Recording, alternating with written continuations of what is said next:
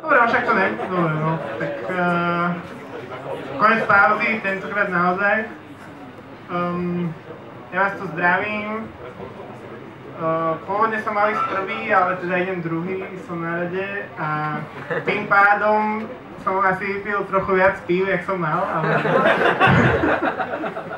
verím, verím, že to zvládneme. Ja to mám také veľmi jednoduché celé, takže to v pohode. Uh, ešte predtým, by som začal, mám jednu dobrú správu, jednu zlú správu. Uh, najskôr zlú. Dobre, tak e, zlá správa je, že Finstat, čo zaplatil pivo, tak bohužiaľ tá kvóta sa naplnila. Takže ďalšie pivečko už si platíte z vlastných dukatov. Teraz nikto nestáva, to je super. Takže nikto tu není len kvôli, úplne že len kvôli tomu pivu, to sa teším. Dobre, teraz dobrá správa hneď na to, aby som to, to pokryl. Tak e, keď keď sa prihlásite teraz, tak táto šarmantná slečna, čo tu pobehuje, vám prinesie ochutnávku švajčiarského síru, čo som donesol, ktorý sa volá asi tak, že som došiel na farmársky trh a povedal som, že dajte mi niečo k pivu, tak 1,5 kg. Takže to je názov síra? Áno. On povedal, že k pivu sa hodí hociaký sír, neviem presne, že pre, ako to bude, ale... Dúfam, že ma moja šarmantná asistentka počula, lebo nevidíme tu nikde. Haló, sír? Signál? To je signál. Áno. To je ona? Nastavil laťku. Mám nejaký sír? Neviem, máme ju ísť hľadať do kuchyne, lebo toto je dosť dôležité toto je váš priam kľúčová časť mojej prezentácie. Áno, tak už to ide. Takže kto prvý príde, ten prvý mele. Aha, sú to také... To je tak jeden na stôl, hen taký oný tanier? Takže jeden do ruky. Áno, jeden do ruky. Tak jeden do ruky teda. Musím ich nejak potešiť, už tu sedia dlho, no. Máme pivo zadarmo. Malý, to je ten... Dobre, tak uh, myslím si, že, že toto už sa vyrieši samé. Takže môžeme začať tu nejak. Uh, Dobre, tak e, ja som našiel porozprávať o, o budovaní dôvery vo vaše superinteligentné systémy, napríklad ako to, čo sme tu videli predtým, superinteligentný systém, ako spravíme, aby, aby ľudia, ktorí ho používajú, verili, že čo sa tam deje, čo sa tam deje za tými, za tými progress barmi a tak, že vlastne im to dáva niečo, čo, čomu oni môžu dôverovať a čo oni môžu použiť potom ďalej. Eh, čo sa týka dvoch slov o mne, tak uh, ja som momentálne uh, človek zodpovedný za tie veľmi otravné reklamy na YouTube. Čiže sorry, to je ďalšia asi. Ďakujem. Čiže ja som momentálne, áno, fú, tak. Ja som momentálne v, YouTube Monetization v Curychu. Predtým som stážoval v IBM Research a a v mapách Google. Napríklad asi pred týždňom som jazdil celý deň s tým Street View autom, čiže aj také veci robím. A taký všestranný typek. Dobre, to si položím. Dobre, čiže budu, budu, budujeme dôveru v stroje a v inteligentné stroje. Už som dostal, ďakujem. uh, Čo si predtým predstavíme, že inteligentný stroj a dôvera, to je až také trocha nepríjemné, tak v určitých prípadoch to môže dopadnúť takto.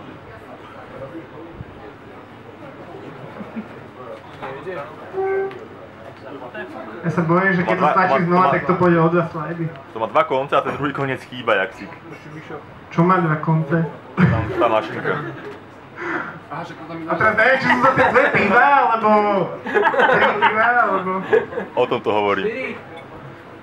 Čo sa stalo? Prečo ste to vytiahli z toho? Aha, To je príjmač. Šli port. príjmaš vysielač. Mhm. A však toto už použil niekto dnes, to už... Ako to spravil, keď to tam nemal strčené? Aha, áno. Čiže teraz? Nie?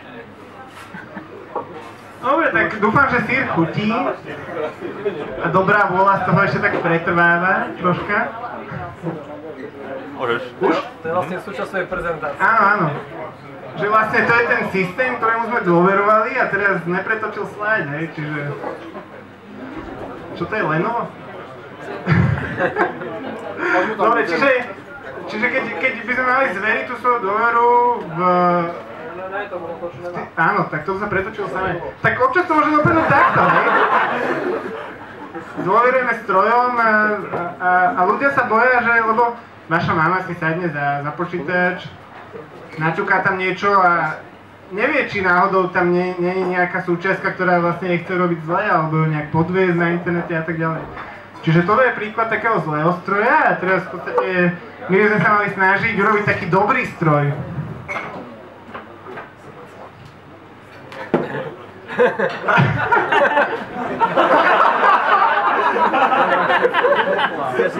Ty kokos. Ešte môže nejaký beatbox vyzrel, tak? Dobre, tak ten ďalší slajd bol až tak dobrý, že som nenačítal. Toto je ten slide? to bol ten dobrý stroj.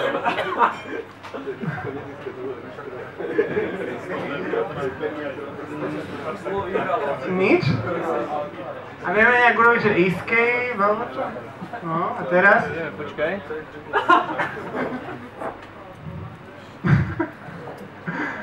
Keď som sem išiel inak, tak som mal dohodnutý taxík a to som myslel, že sa nemôže stať, ale, ale asi 5 minút predtým, jak už som mal ísť dole, mi volajú, že sorry, že auto nedojde. Tak to, to tak začal tento večer, takže... Uh, toto je ten zlý stroj, áno. A teraz našim cieľom je urobiť dobrý stroj, takže to je tento.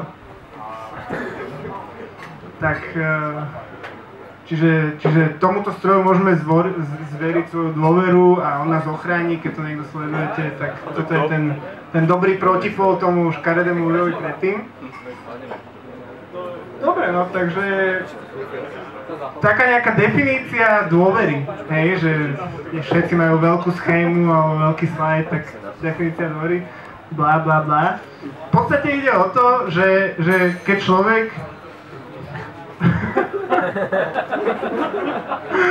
keď človek niekomu dôveruje, tak mu zverí niečo. Neviem, čo toho kone, vypršal čas. Keď človek niekomu dôveruje, tak mu, tak mu niečo zverí a potom ho treba nekontroluje, čo ten, čo ten človek s tým urobí, alebo že či neurobí niečo, čo by mu mohlo uškodiť. A, a proste o tom je dôvera. A vidíte, ako dôvera sú, súvisí s efektívnosťou. Hej, že ja, ja im, tá, tá kontrola, ktorá by mala nasledovať, keby som neveril, tak vlastne to znižuje efektívnosť celej tej výmeny čohokoľvek, hej. Čiže keď si nebudeme veriť, tak si musíme vymýšľať, že jak sa ochránime a tak ďalej. A nebude tam, nebude tam na, nasledovať tá výmena informácií, čiže dôvera, hej.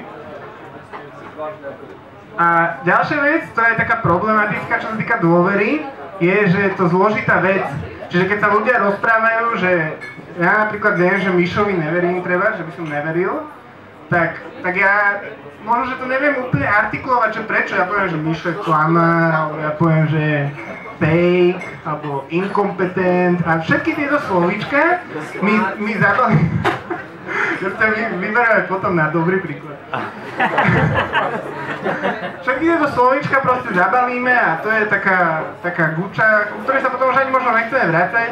Čiže keď máte toho používateľa, napríklad odporúčacie systémy, uh, typek predo mňou, máte používateľa, ktorý teda skúsi použiť tú vašu aplikáciu a tam ten inteligentný systém niečo vymyslí a niečo, niečo vám tam vyhodí, nejaké odporúčanie.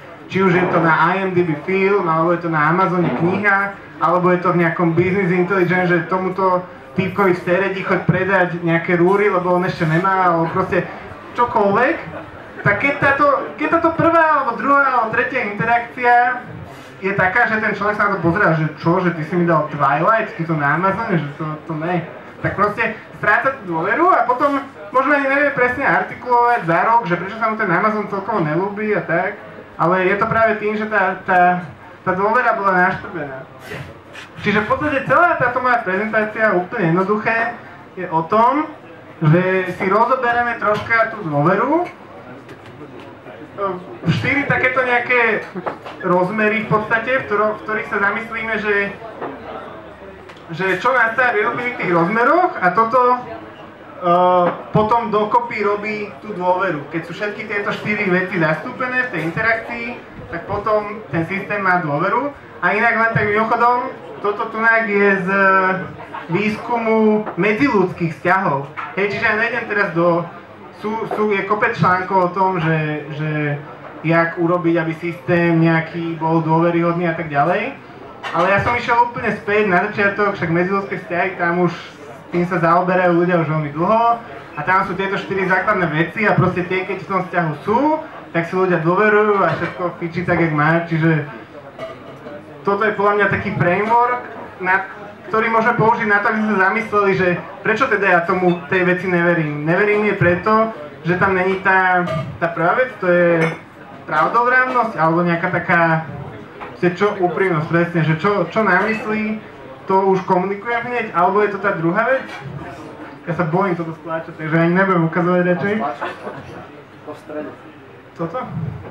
Alebo je to tá spolahlivosť, že proste keď, ten, keď tá druhá strana tej transakcie sa v niečo zaviaže, tak to naozaj aj dostane potom?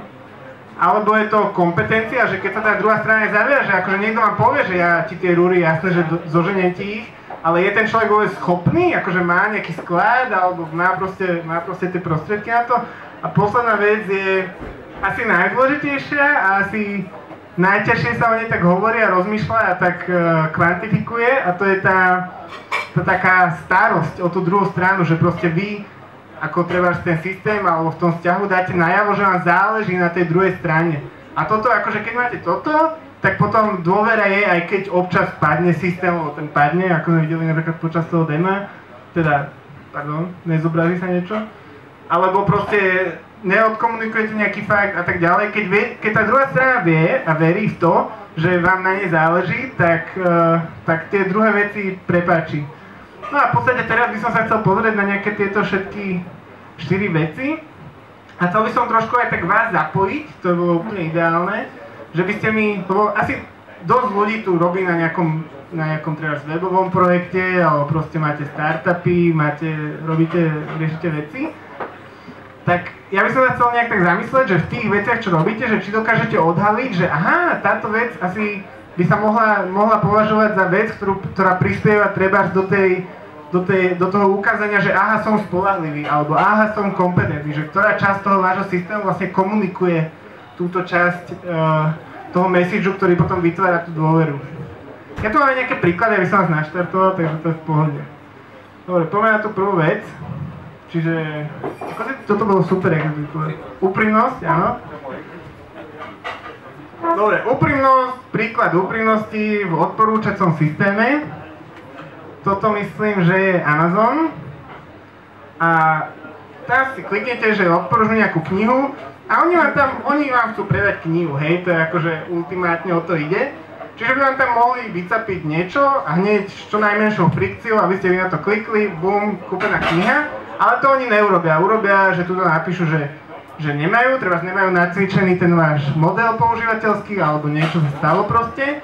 Tak oni vám dajú vedieť, že nemáme pre vás odporúčanie, ale skúste toto Harry Pottera, lebo tak to si kupujú všetci a zrejme to chcete aj vy, lebo tak štatistika nepustí. Ale proste priznajú to, hej. A vďaka tomu, že to priznajú a vy to, vy to pozrete, tak už máte taký pocit, že aha, oni mi asi nechcú natlačiť úplne, úplne hociakú kravinu, hej, že proste už je tam, už je tam nejaký ten, ten, ten chochmes.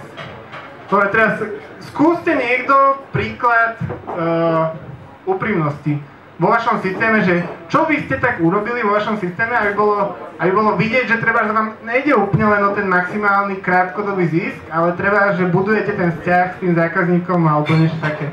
Má tu niekto príklad? Chlapci z Gratexu? Dobre, tak ešte ja tu mám jeden, rozmýšľajte, hej, každý rozmýšľa na to svoje veci, kde tam ja mám úprimnosť. Keď akože nikto tu je, tu je Áno, no. Keď spadne server, tak to priznám na Twitter, že nám spadol na pol hodinu server, alebo čo v noci. Áno. Čiže tuto, a vy ste zo, zo služby s názvom? Som To je jedno. OK. Čiže áno, napríklad také dobré gesto, že, že priznajú downtime, hej, že keď sa niečo stane, tak mám nejaký dashboard, kde to ukážem aj bez toho, aby ten človek išiel do e-mailu a zistil, že aha, však to nefunguje, alebo nechodia ani prílohy, alebo čokoľvek v Gmaili. Tak mám dashboard, kde vidím, vidím tie problémy a priznám. Napríklad môže byť, čo tu máme ďalšie? Toto je zase Amazon. Uh, viete, jak sú reviews na Amazone a máte tam, čo by, čo by bolo úplne, že čo tam chcete ukázať najväčšie tomu, tomu človeku, čo si klikne na reviews na Amazone, aby kúpil ten produkt proste. Tak tam ukážete pozitívny nejaký review, nie? Však akože toto je super toaleťák, štvorústroj, všetko. Ale nie, oni tu ukážu aj kritický review, aby tí ľudia si mohli zhodnotiť pre a proti a zase je to, zase je to ten krok to, že vyrobiť si tú dôveru u toho používateľa, že ja ho neklamem len tým dobrým a neukážem to, tú druhú stranu mince. Čiže to je tiež ďalší príklad. Niekoho medzi tým nenapadlo niečo takéto? Vy máte všetci také neúprimné služby? Ti dám databázu a sú tam nezašifrované čísla kreditiek, tak už to priznáš. Dobre, čiže počuli všetci, že keď mám v plaintexte hesla a, a čísla kreditiek v databáze, tak to asi priznám. Neviem, či mi niečo iné ešte zostáva, lebo asi chcem, aby ľudia si to čo najrychlejšie porušili a, a tak ďalej. Ale áno, je to také akože že idem trošku v ústretí tým používateľom, aj keď si možno, aj keď si možno poškodím imič, hej, lebo to priznám. Mohol by som zatlkať a ne, nikdy to nepriznať a ľudia by mali po kontách, ale neviem. Lebo toto je ľahké, lebo oni hovoria o produkte, že to je náhodno produkt. hej. No áno, čiže... Nehovoria o sebe, že sú náhodno. Áno, čiže ne, Amazon, ale je to taký medzikrok, lebo Amazon neočierni seba, ale očierni ten produkt, ktorý on predáva a keď Amazon nepredá dosť produktov, tak nebude Amazon, hej? Čiže, čiže áno, Oni všetko, áno, čiže oni využijú to, že majú vlastne celý ten trh podchytený a majú aj tú konkurenciu, čiže keď si na základe tohto review vy never, nevyberete ten Canon foťák, tak už jedine vám asi Nikon zostane, takže niečo sa predá zrejme, ale aj tak, celkom, celkom dobrý krok si myslím. Potom toto je príklad takého, že síce akože, ja stále zabúdam, jak si to ty nazval. Úprimnosť. Úprimnosť. to je, no, to je Ako zabudáš, to je známka. Áno. Úprimnosť, dobre. Čiže, čiže toto je akože úprimný e-mail, chodilo to asi pred pol rokom z LinkedIn, tuším, tak nejak plus minus. A bolo to, že, že, že 5% používateľom, alebo 10% používateľom došiel zase iný mail, 1% došiel iný mail. Jednoducho to bolo o tom, že, že čau Jožo, že ty si top 5% najnašťovanejších profilov na, na LinkedIn. Že super, congratulations, a hneď tam bol, hneď tam bol gombiček, že share, všetkým to daj na vedomie, lebo všetci si úplne geniálni, top 5% na LinkedIn. A toto bola pravda, hej, akože ty treba, to nevieme, či úplne, že či to bola pravda, ale... ale je to akože uveriteľné, hej, proste keď má LinkedIn, ja neviem, 70 miliónov používateľov, no tak 5% z toho došiel, došiel tento e-mail, OK, to sa dá predstaviť. Pravda, ale už vidíme, že už je to trošku akože príklad takej tej naštrbenej úprimnosti, pretože síce je to pravda, ale využíva to už nejaké veci. Využíva to to, že vy začnete, takéto, takáto sexy obaločka vám dojde a začnete to hneď šerovať a už už je tam z toho priamy zisk, pretože, proste, že vy sa pochválite, že ste top 5%, aj keď na druhej strane keď toto je rátané zo všetkých LinkedIn accountov, z ktorých neviem, 50% je že raz vytvorených a už nič, hej, že to není z active accounts, to je zo všetkých accounts, takže to není až taká veľká hodnota, ale človek sa proste pochváli. Čiže to je tak už na hranici, by som povedal. A potom toto je jasný príklad, proste toto je print screen z jednej e, úspešného slovenského projektu, ktorý sa volá, že Cynická obluda. A, a majú tam takúto reklamu napríklad a toto je proste jasná lož. Čiže to je taký príklad, že, že vlastne vaša, aj keď my túto, čo sme tuto už medzi nami, odfiltrujeme takéto kráviny, hej.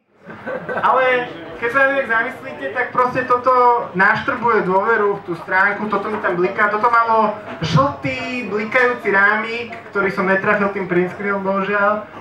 Proste toto, je, toto hneď naštrbí tú dôveru, ale teraz už máte ten, ten nástroj, že, že naštrbe, naštrbená trust, ale že prečo? Lebo oni porušili tú úprimnosť, lebo proste toto je lož. Ešte nejaký príklad vysloveného klamania, ktorý ste videli na internete, taký, ktorý je tuto publikovateľný o, na verejnosti?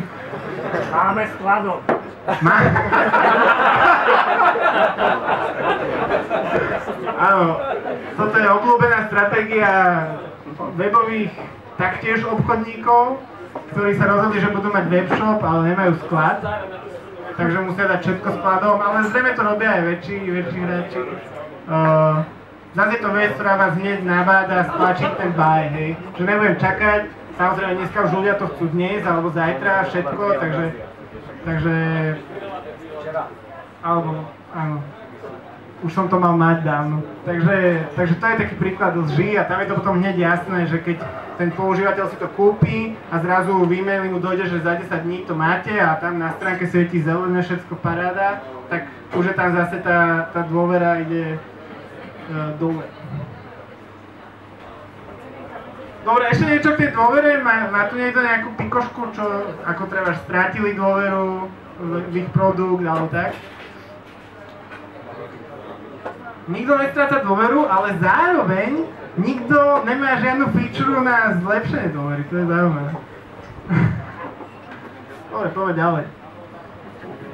Tam boli tie 4 veci, toto je druhá z nich.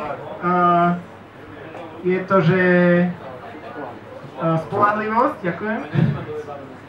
Spolahlivosť. Čo to môže znamenať, že spolahlivosť v kontexte nejakého, nejakej smart mašiny, ktorá niečo robí? Čo si myslíte, že by to mohlo znamenať? Tam páni pri bare. No, nepadne ten server napríklad, čo si písali, že padne server, tak nepadne. Áno, čiže nejaká taká technická spolahlivosť, že, že dojdem na tú stránku a neukáže mi tu tam nejaké články na zozname namiesto toho, lebo mi nainfikovali moje DNS-ko, ale proste do, dojdem naozaj na tú Alzu SK a budem to na tie veci, hej. Čiže to je technická spolahlivosť. Ešte niečo, čo sa týka tých, tých múdrych systémov? Možno, že viem vysvetliť, že prečo to tak robí, napríklad to odporúčanie. Áno, že vie vysvetliť, že prečo som napríklad dostal To tú danú vec. Ale to, bude, to asi nebude spolahlivosť. To je, že to, že to trafí. Ale že to trafí, tak. Čiže, čiže je to vlastne také, že, že sa môžem spolahnúť na to, že to, čo mi ukáže, že mi to ukáže len v tom prípade, že bude dostatočne si treba zistý, že, že to, čo mi ukáže, nebude úplná krávina, hej, že je tam aspoň nejaká tá, nejaká tá medza kráviny, hej, že ke, keď to uvidím, tak to nebude treba ten Twilight pre mňa na tom Amazone, hej, čiže to je tiež taká, taká spolahlivosť toho, tej, tej rozumnej mašiny, to je dobrý príklad. Dobre, tu mám nejaké príklady, že tuto na stránke to mali priamo s tým trust, čiže to mi, že tu mali reliability a tu mali trust, čiže to mi sedí do tej prezentácie. Čiže je to nejaká treba certifikácia, hej, že vy si certifikujete, ja neviem, ten proces váš firemný, teda máte nejaký audit a oni vám, oni vám dajú certifikát, že treba, že neviem, nemáte tie heslá v plain texte alebo proste niečo. Uh, a potom si vytapíte na stránku nejakú takúto ikonku, ktorú si aj tak už nikto nejde nikam skontrolovať, nejdu na aps.com alebo niečo, aby si zistili, že, že áno, a títo ľudia majú nejakú tendenciu. Nie, to, to samozrejme nie, ale môžete si dať takýto zelený štítik na stránku a to je akože fajn. Čiže, čiže nejaká taká procesná uh, spolahlivosť, procesná spolahlivosť, konzistentnosť. Konzistentnosť podľa mňa súvisí so spolahlivosťou, pretože keď ja idem napríklad na ten Amazon a vidím tam nejaké to odporúčanie, možno to nie je úplne ideálny príklad, ale skúsme, Ide, vidím tam to odporúčanie a teraz tam mám, ja neviem, nejaké akčné komédie, knižky alebo na IMDb filmy, hoci čo. A potom to za 5 minút refreshnem a mám tam niečo úplne iné, tak začnem tak rozmýšľať, že, že, že ono to len tak skúša, akože sem a tam, alebo proste má to nejaký ten, má to nejaký ten zmysel vnútorný, vlastne pozná na to, keď, keď, keď nie je ten systém konzistentný a keď sa nedá spolahnúť na to, že keď vám v jeden deň dá, povie niečo takéto a za hodinu vám povie niečo úplne iné, tak to tiež naštrbí v konečnom dôsledku tú vašu dôveru. Čiže podľa mňa konzistentnosť je, je dôležitá a to v odporúčacích systémoch často není úplne až také jednoduché spraviť, lebo stále vám treba prichádzajú nové dáta a teraz už by ste vedeli odporučiť nejakú novú vec, ale keď to budete stále meniť, tak možno tá, tá dôvera tých používateľov uh, nebude až taká pevná. A potom tu ešte takú vec, že, že robustnosť. A to znamená, že, že, že tá spolahlivosť súvisí s robustnosťou, podľa mňa. To by vedel niekto vysvetliť, že jak to súvisí? Páni pri bare minule fungovali dobre, že spolahlivosť s robustnosťou ako súvisí. Že to nebude padať teda, alebo že keď to nejako, keď to nejako spadne proste, že mi to aspoň nejak akože proste ja dám sa akože, keď to, že to bude blbúzdorné. spraví to, čo chcem, tak aspoň mi to oznámi. No, alebo to bude blbúzdorné, to je tiež, tiež dobré. Čiže proste ja nejak predpokladám napríklad aj to, že že predstavte si, že dojete na Synopsy TV a teraz tam na, najprv hodnotíte filmy, alebo teda videl som toto, páčilo sa mi, nepáčilo a tak ďalej, niečo si preklikám. A teraz dostanem niečo, hej, dostanem nejaké filmy, ktoré by som si teraz mohol kúknúť. A teraz nebolo by také trocha čudné, keby som išiel ešte jeden film oznámkovať a dalo mi to niečo úplne iné, že proste, že proste veľmi malá zmena v tom mojom správaní vyrobí nejakú úplnú zmenu v tom systéme. Podľa mňa aj to troška súvisí s robustnosťou, že či, že či on úplne mení ten názor nielen v čase, ale aj v tom, že čo ja s ním robím, že či, či on bude skákať doprava doľava, alebo proste má nejakú takú trajektóriu, ktorá je čitateľná pre mňa ako používateľa. Úplne ma neprekvapí za každým. Už tak viem, že treba, čo môžem čakať, keď, sa, keď niečo, keď uh, dám tomu nejaký input. Čiže to je tá robustnosť a som... Dobre, Uh, spolahlivosť, niekto, nejaký príklad, niečo? Páni a dámy, nič? Dobre, poď ďalej. Moja pýta asi ešte nie, že? Ako? Nič, dobre. Uh, kompetencia. To sa my tak radi píšeme, že vlastne my sme tu tá elita, hej, že čo idú aj v dneska štvrtok, že idú aj štvrtok, večer idú do krčmy, nie len tak piť pivko, ale aj tu počúvať nejakých, nejakých šialencov s prezentáciou. Uh, čiže my sme takí kompetentní, lebo tak, tak robíme na sebe. Takže ako ten náš systém môže komunikovať to, že my vieme, čo robíme, keď robíme ten systém, podľa vás? Ako môže ten náš systém dať najavo, že rozumie treba tomu používateľovi, alebo že my rozumieme tej doméne, že treba robíme aj e-banking, ako, kde tam je vidieť, kde tam ten používateľ vidí, že toto je treba bezpečné, tí týci tam majú bezpečnostných expertov, alebo proste je to, bude to rýchle a tá transakcia prebehne rýchlo, lebo proste oni vedia, čo robia. Jak ten systém môže toto zmotniť, podľa vás? Alebo nejaké príklady? SSL warning. Áno, čiže z tej technickej strany zase za, máme nejakú tú ako keby certifikáciu, hej, je to nejaká zase tretia strana, ktorá povie, že títo týci, akože majú to šifrované, sú OK, čo je dobre, to by sa dalo, ale neviem, napríklad chlapci z toho synopsy, kde, kde tam je demonstrované, že proste vy sa rozumiete tým filmom, že proste toto tu má nejakú úroveň a teraz to, čo mi tam ukážete, budú dobré, dobré odporúčania. Je to... Napríklad, čiže môže tam byť ten tým, že trošku to dať také, akože trošku to tak spraviť osobné, že... Alebo tech blogy, áno, že proste, ale to už sú takí skôr tí používateľia, ktorí by aj rozumeli, čo je za tým, že dokáže oceniť ten tech blog, že, že vlastne tá firma, keď robí, ja neviem, trocha s tou bezpečnosťou, alebo robí už niečo, čo potom developeri používajú, hej, že teraz firma, čo robí databázu, jasné, že musí mať tech blog, kde ten, tí developeri vidia, že to sú makači, ktorí proste akože rozumejú tomu vnútorne. Ale... Referencie na zákazníkov starých nejakých existujúcich? Referencie na zákazníkov, čiže nejaké také akože citácie, že no. ja som použila pájoček a, a teraz už som jak strunka. No, to je prekvapivé, ale to je, to je tiež cesta. samozrejme, lebo, lebo vlastne tí ľudia, oni treba nedokážu zhodnotiť, že či ten pajelček je dobrý, že ja neviem, jak dlho vydrží na baterku, alebo jak hlasno pípa, ale oni vedia, že tento človek tu sa usmieva a predtým mu bolo krvať, vieš, čiže to je akože, to je fajn, no. Ako dobre poznáš ten pajaček. No, to je príklad. Dobre, no, kompetencia. Môže to byť aj také, že modrá farba napríklad, hej, že ja dám modrú farbu niekam na korporátnu stránku a už som trošku taký akože solidný, že to je, to je ďalšia tá psychológia, alebo už len to, že mám proste firemnú stránku, že to má hlavu petu, že to není, ja neviem, v inom browseri sa to zle nezobrazí, to sa niekto nehlásil na to? Nie, dobre. Čiže povedal pozrieť, čo tu mám ja. Tie kompetencie, Áno. keď mi napíšu, že heslo nesmiem použiť veľké písmeno. Áno, čiže nejaká kontrola hesla, že robím si konto v nejakej službe a ono mi to povie, že toto heslo, čo si tam zadal, čo je rovnaké ako to meno, čo si tam zadal, že to asi ne, že to daj iné. A áno, že aj syntax toho hesla, že napríklad je dlhšie alebo tak. Tak minimálne z toho už vieš, že tá služba mala nejaký problém, že akože moc veľa kód bolo prelomených alebo niečo, čiže už akože majú nejakú skúsenosť a, a feature.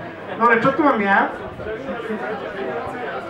Dobre, toto bude Amazon a toto je podľa mňa jedna z takých demonstrácií, že, že treba Amazon sa rozumie záchodového papieru, lebo pozrite sa, to ste ani nevedeli, že nejaký záchodový papier môže mať takéto, takéto vlastnosti, že je spláchnutelný napríklad, ale odborníci v Amazone a nesmrdí, no sám o sebe ten papier, no. to by nemusel. Ale proste majú tu tie detaily a celkovo akože týmto som myslel niečo také, že keď máme nejaký, predávame nejaký produkt, alebo napríklad v synopsi máme tú stránku pre ten daný film, tak podľa mňa z toho, že čo tam o tom filme je znázornené, ako je to prehľadné, aké sú tam informácie, čo tam je navyše, tak z toho vieme, že, že aha, tí ľudia si rozumejú filmom, majú tu, majú tu všeličné. Nemajú tam poster a názov a rok, ale majú tam niečo najviac. A toto je presne o to, akože produktová stránka na Amazone, to je v prvom momente veľmi komplikovaná a metúca vec, ale potom si uvedomíte, že tam je všelijaké informácie a tak ďalej. Čiže rozumejú tomu, ako predávať produkty minimálne. Toto je z Last.fm. A, a je to trošku akože inteligentný systém, že odporúčame, tu to počúvate, ja neviem e, čo, ale s takýmito odporúčaniami asi nič moc. Ale vidíte, ako ten systém trošku vyrobí tú kompetenciu tým, že on nám ukáže, že aj tuto, že, že na 100%, že akože NSYNC je úplná blízka pre teba. A potom už to ide dole, to je akože OK, ale už vidím, že tu je treba až veľký schodík a veľký schodík, takže tieto dva už sú asi, asi celkom dobré pre mňa. A už získam nejaké, nejaké to, že aha, oni to asi počítajú nejak, lebo tak tu majú nejaké čísla, čiže to nebude len tuto nejaký zoznam, že každý má rovnaký zoznam, ale už sa tam niečo deje, čiže ja si trošku myslím, že nerozumiem tomu ako používateľ samozrejme, že čo to sú za čísla a tak ďalej, ale niečo sa tam deje, čiže asi tam na to niekto robí a, a možno aj bude kompetentný. Tu mám ďalšiu vec? Toto je o tom, čo som si všimol, že chalan predo mňou spomenul a to je podľa mňa dosť dôležitá časť odporúčacích systémov vo všeobecnosti a to je to zdôvodnenie, alebo to, tá transparentnosť, že prečo. Že, že my sme ti tu dali Jamesa Bonda ako odporúčanie filmu, toto bude asi IMDb. Dali sme ti odporúčanie filmu, a, ale prečo? Prečo tu mám Jamesa Bonda? Tak to je presne o tej dôvere a o tej kompetencii, že tí ľudia mi to sa nedali len tak, ale tam je tá transparentnosť, že aha, odporúčanie bolo založené na tom, že aké filmy si si kúpil predtým, môžeš sa tu prekliknúť a aby si ich videl a viac, no to už bolo čo je to a viac. A prečo máš čínske meno? Či... No, to je... Ja som takto bola Nie. Čiže, čiže toto, toto tiež podľa mňa vyrába určitý zmysel kompetencie, ale zasahuje to aj do iných tých, do iných, zasahuje to do tej úprimnosti, prečo sme to tam vypísali, lebo toto. A sú rôzne spôsoby, ako ten odporúčací systém môže znázorniť, môže dať tomu používateľovi nahliadnúť do svojich vnútorností, že, že čo sa vlastne stalo.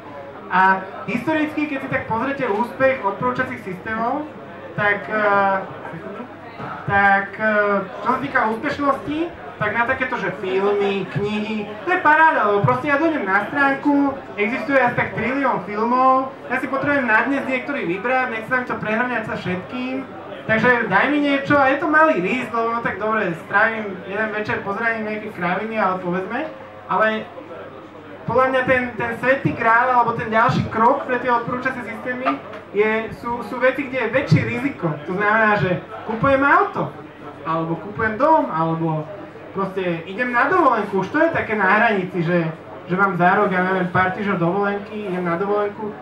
Prečo, keď mi tam nejaký booking.com alebo hoci čo ukáže, že chod tu, tu a tu, prečo by som tam mal ísť? No podľa mňa v tom prípade ešte o to viac dôležitejšie je ukázať, že vlastne, že čo mi to tam vypisuje, prečo, aby som ja ako používateľ mal dôveru ten systém, lebo ja sa neviem porozprávať s človekom, ktorý mi to odporúči, nemám svojho treba cestovného agenta a on mi povie, že no minule si mi hovoril, že máš rád sopky, tak som ťa poslal niekde, kde je sopka alebo čo. Mohol by som si s ním pokecať a mal by som tú dôveru. Ne, ten systém tam vypíše nejaké dovolenky, tak jak tieto filmy, ale to je o ničom, to už je väčší risk. Čiže, čiže kompetencia je podľa mňa aj o tom, že poskytnúť používateľovi ten pohľad do tých čriev, trošku, tak aby to rozumel. Ne, ne zase nejak brutálne. Tieto, tieto čísielka, to už, to je podľa mňa taká trocha blbosť, lebo ťažko z toho niečo ten používateľ pochopí, ale toto je super, lebo, lebo vie si to veľmi dobre interpretovať, že čo sa deje. A čo v prípade, že tam to išlo dole, že recommended because you rated Borat. A tým, že fix this. A, No. a to je úplne nekonzistentné s tým hore, nie? Však čo má Borat s Jamesom Bondom pre Boha, hej? A to, že som hodnotil Borata, to teraz znamená, že zostal... Hlavní hrdinovia. No ale to je možno, že komplement napríklad. Že Borat, že Borat, poďte, to sú dvaja týpy, akože James Bond a Borat, hej? Borat je taký neschopný týpek a James Bond je taký super schopný týpek, takže Tam nie je napísané, ako ho hodnotil. A teraz... to není, ale to ten človek treba vie. Že strašne zle hodnotil. Áno, áno, podľa mňa, je tam fix this, tak vravia, že a my to úplne neveríme a možno, že to opravda. áno, ale to je zase, že, to je zase ten, uh, To je tá úprimnosť, hej, to beriem. Áno, a tam sú dve osy v podstate. Je tam naj, naj, jedna os je, že risk, že čím väčší risk, tým viacej musíš dať e, náhľad do tých čriev. A toto je druhá vec, že čím viac ten user není lama, hej, že akože expertný user sa volá, že už používa ten systém trochu dlhšie, tak tým viac mu musíš dať toto a to je nejaká možnosť interagovať s tým odporúčaním. To znamená, že, že ty mu dáš už takú možnosť a to zase zvyšuje tú dôveru, lebo on má pocit, že aha, že dobre, ja som rejtoval tie filmy na, filmy na, na Synoxy, ale teraz mi to hodilo treba film, čo nemám rád, tak, po, tak poviem kill mi toto, že tento film určite nikdy nechcem a potom vlastne mám pocit, že aj trošku som do toho dal roboty, že učím ten systém a tak, tak to idem aj na budúce, lebo, lebo proste už mám pocit, že, že ovládam ten systém a že už som niečo naučil a už mi mal dať nejaké, nejaký dobrý feedback. Takže, takže áno, toto som si napríklad nevšimol ani, ale je tu, že, že ďalší príklad toho, ako, ako tomu človeku povedať, že prečo táto konkrétna vec tu bola vypísaná.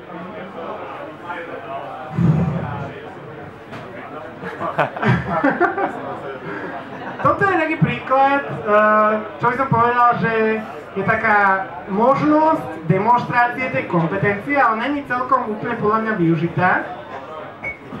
A to je, to je, príbeh za týmto je taký, že toto je vyhľadávanie vo filmoch a tuto sú nejaké fazety, čiže vy si môžete povedať, že ja chcem len akčné filmy, alebo chcem len nové filmy, alebo chcem uh, od takéhoto režisera a tak ďalej.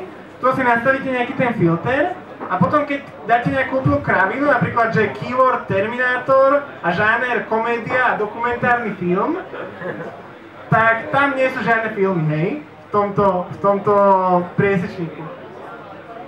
A tento systém nám napríklad povedal, že veľmi priateľským spôsobom, čo je super, že, že, si, že proste používateľ failol, že zadal zlý filter a, a nič, nič, nič sa nám tu nezobrazilo. Ale keď si spomeniete napríklad uh, ten print screen z Amazonu, tak oni mali Akože ešte horšie ako toto by bolo, že by som tu nedal nič. Že by som tu dal prázdny zoznam a toto by tu proste nebolo ten text. A proste používateľ by zadal si nejaký filter a, a nič. Hej, čiže to bolo úplne zle. Títo chlapci tu napísali, že, že čo sa stalo, čiže to je super, ale Amazon napríklad v tej, v tom, na tom print screene, kde neboli žiadne odporúčania, že nevedeli vyrobiť, tak rovno, rovno ponúkli niečo, že, že ty síce zlyhal tak troška, lebo si dal zlý filter, ale tuto máš najobľúbenejšieho, Harry Pottera napríklad, hej? V systéme, že, že Joško Anička Ferko Dž, lebo už, lebo už nevyšlo zbytok toho prezviska tam, no. Dobre. Kompetencia? Ideš?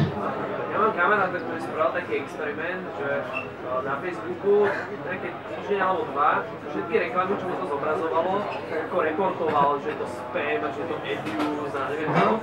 A potom, takto po nejakých dvoch týždňoch takého posledného, tak zistil, že mu chodia reklamy v číštine alebo ponúkajú umelé klopy a podobne, tak, tak povedal, že wow, že fakt, že, že som, som tam všetky relevantné veci som mu flegol, že to je že to nechcem, hej, tak, tak naozaj skočil na čistých a som.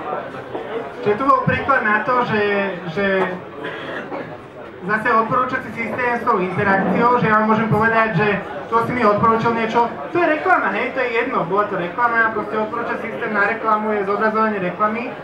A ja môžem povedať, že nechcem to, nechcem to, nechcem to. A tuto nakoniec to dopracovalo sa k tomu, že ten user, user model bol taký zlý, že odporúčal úplne nerelevantnú reklamu, čo bolo vlastne cieľom.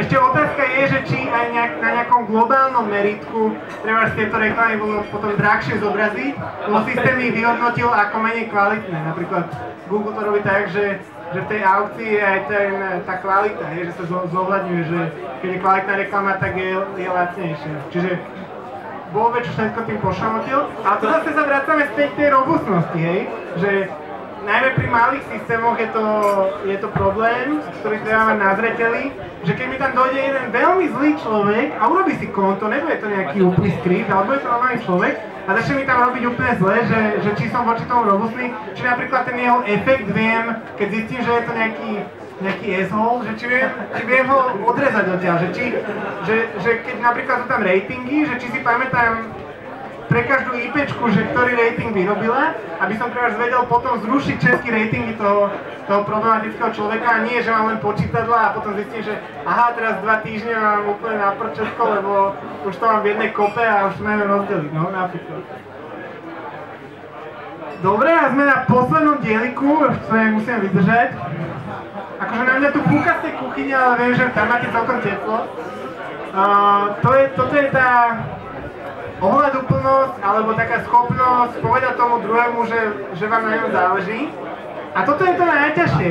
Akože robíte bankový software napríklad, internet banking, ako tam, ako tam znázorniť, že ten používateľ sa tam prihlási a bude mať pocit, že aha, mojej banke na mne záleží, mal by som tam dať viac peniazí, alebo čo, proste, lebo proste mám zvyšenú dôveru na základe toho, že viem, že oni robia všetko preto, aby moje veci boli bezpečné a tak ďalej. Niekto mne takto akože od pása vie povedať, že zvyšovanie dôvery, no. Marketingové kampane, akcie na nejaké sporiace účty a... Čiže keď ti dojde nejaký spam, nazvime to, tak máš taký hneď pocit, že, že ježiš, aké fasa, že... že tam na mňa myslia, že boha, že to je super.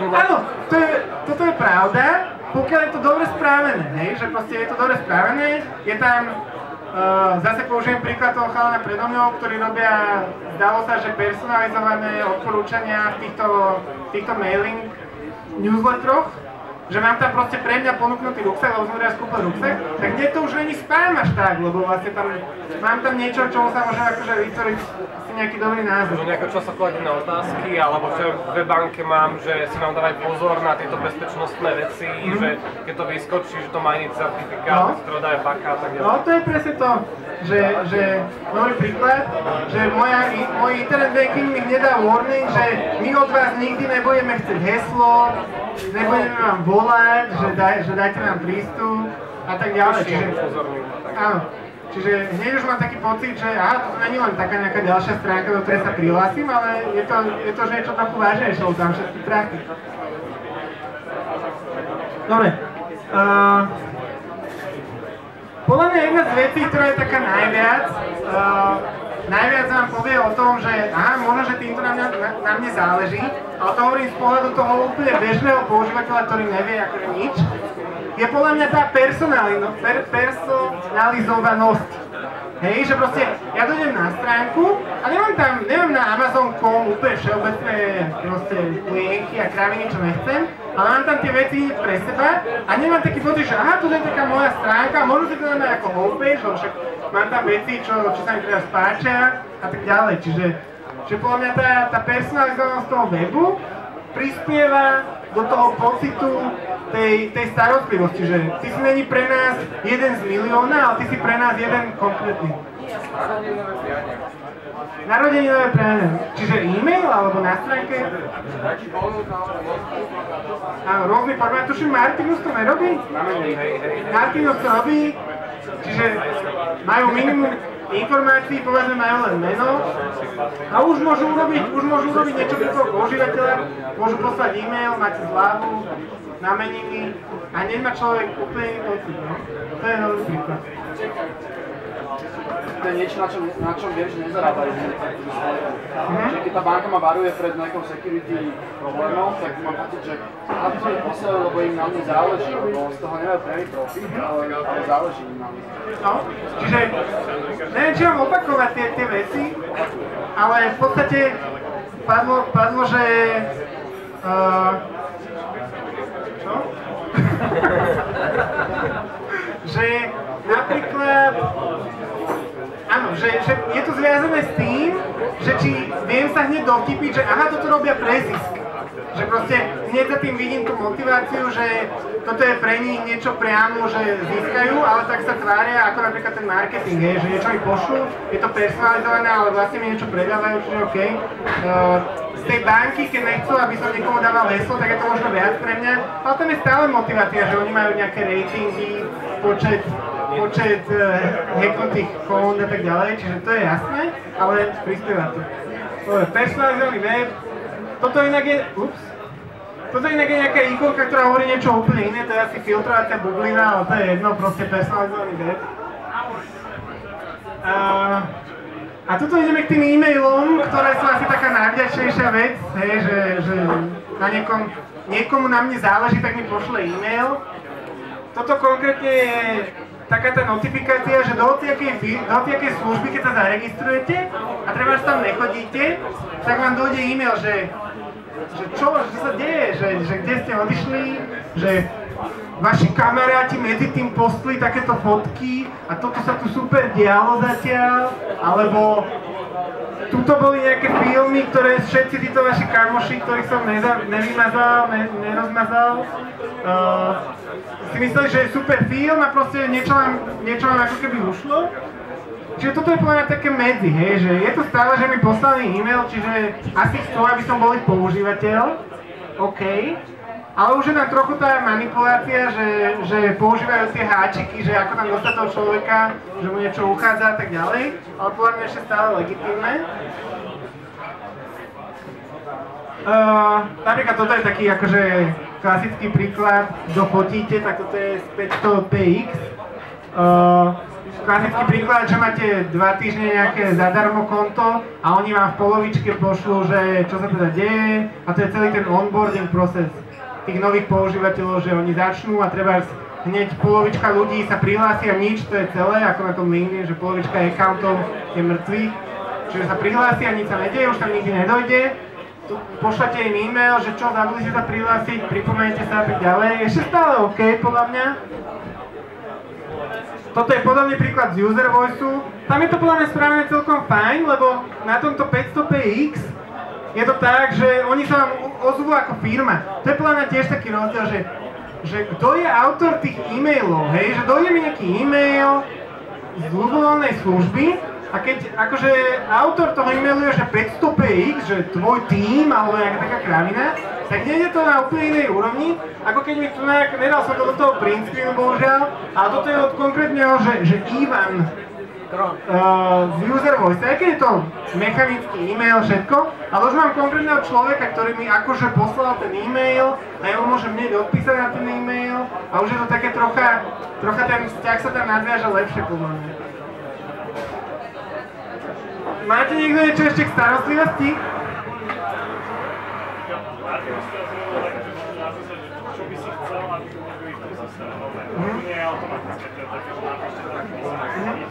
Čiže došiel ti e-mail od Martinusu, ktorý, alebo niečo, nejaká notifikácia, ktorá chcela feedback na tú službu.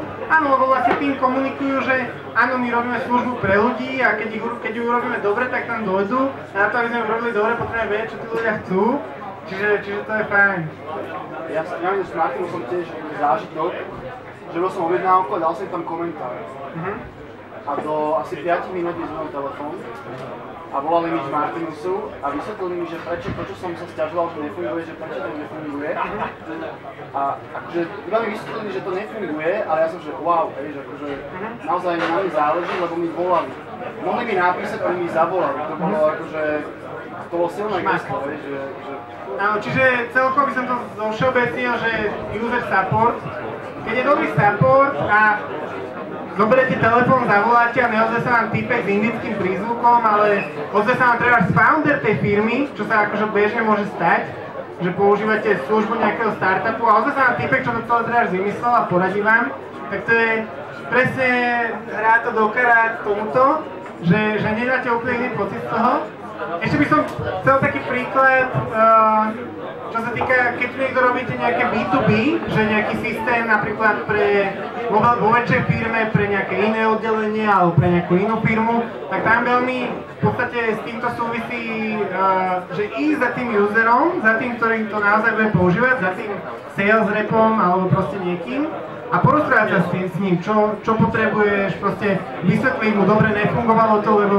lebo dôvod a tak ďalej, čiže a to podľa mňa súvisí aj s tou stránkou, kde je tým tej služby popísaný, že dať tomu trošku taký, taký human face tej službe a, a udržiavať nejaké tie vzťahy s používateľmi a tak.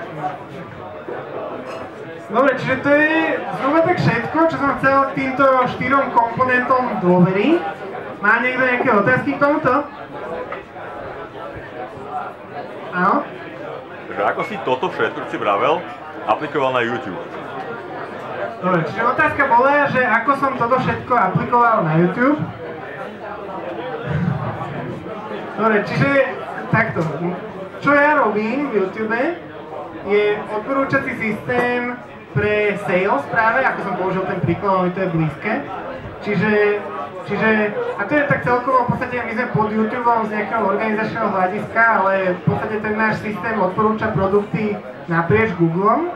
A v podstate je to o tom, že, že ty máš nejakých pár inžinierov niekde, treba aj na inom kontinente, ktorí robia nejaký systém, ktorý potom používa tisíc ľudí, ktorí sa snažia predať tie služby a, a máš vlastne prvý tvoji zákazníci sú priamo tí, ktorí to budú používať a musíš si u nich vybudovať tú dôveru, u nich si musíš vybudovať, že výsledky, ktoré im treba ponúkneš z toho odporúčateľného systému budú, budú spolahlivé, že oni potom môžu ísť ku klientovi s tým a tak ďalej.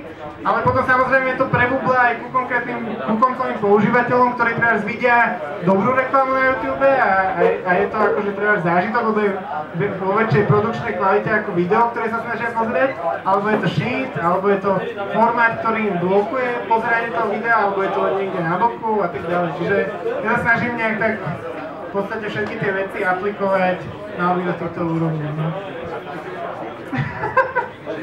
Bolo to veľmi také šalamúnske, ale no. Keby si chcel konkrétny príklad, tak mám konkrétny príklad uh, taký, že, že robili sme... Ja len akože reliability. No, Hej, no proste tá rek- alebo, alebo, ho, hoci ktoré, že tak tá reklama tam proste bude, lebo ju tam vrazia. A, a teraz čo z toho si mám akože zobrať, že im na ne záleží, alebo že mám im veriť, alebo že to je a ty si akože ten koncový používateľ, čo dojde pozerať video na YouTube, hej? No, bohužiaľ, hej, tak to je. No, Lebo tá reklama väčšinou nie je taká, že pre mňa. Ja, čo pre mňa? Moja 18-mesačná dcera ju sa naučila reklamy na YouTube, hej? Má 18 mesiacov a vie, že tam treba kliknúť po 5 sekundách. No jasné.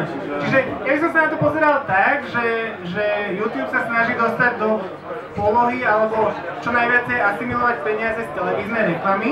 Čiže keď akože sa o niečom bavíme, že ako nám niečo robí treba zle, tak vždycky je fajn to dať do kontextu. A keď si ako kontext zoberieš televíziu, tak už to prestáva byť až tak zlé, lebo keď si pozrieš hocičo v telke, tak máš akože v prvom rade, v prvom rade nemáš preskočiteľné nič. Môžeš zmeniť kanál, ale tí hajzli sú tak dohodnutí, že tá reklama je všade, takže nič moc. A, a hej, teda treba zobrať ten kontext, no, podľa mňa. A ďalšia vec je to, že